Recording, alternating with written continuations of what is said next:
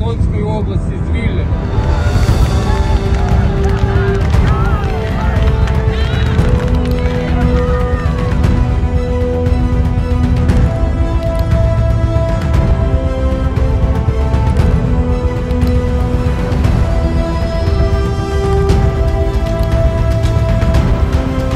guys, but we need a half a million dollars to do that. Yeah, sure, no problem. Just we want these names on the on the naval drones.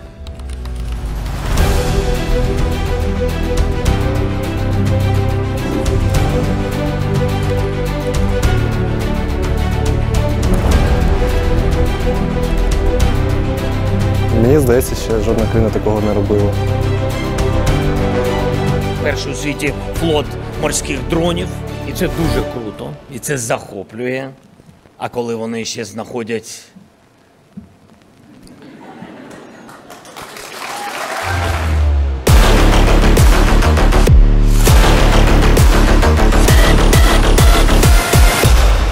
І вони знаходять